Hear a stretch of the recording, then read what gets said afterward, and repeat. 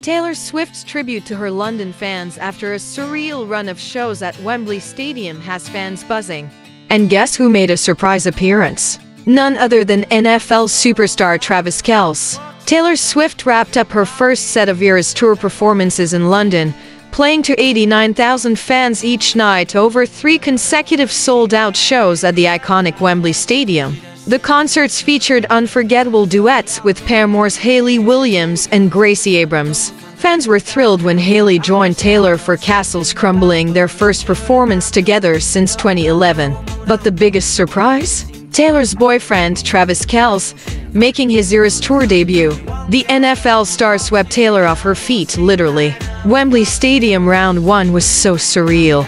Looking out into crowds of 90,000 fans each night and hearing that volume. Those were some of the loudest crowds I've ever heard. Acoustic sections went off.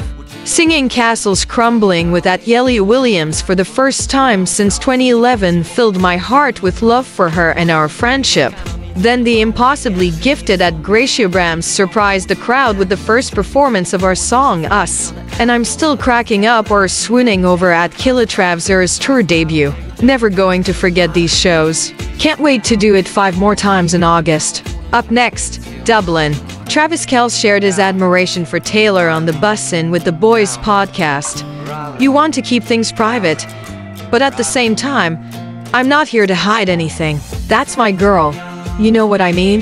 That's my lady, so I'm proud of that.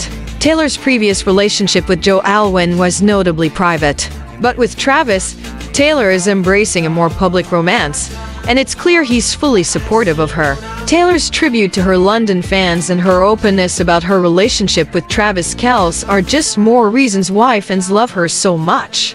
Don't miss the next chapter of Taylor Swift's Eras Tour. Subscribe for more updates and behind-the-scenes content.